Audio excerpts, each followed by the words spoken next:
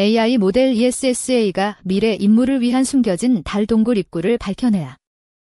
A British scientist has applied a deep learning artificial intelligence model known as ESSA to extensive imagery of the moon's surface, uncovering potential cave entrances previously undetected by conventional observation methods.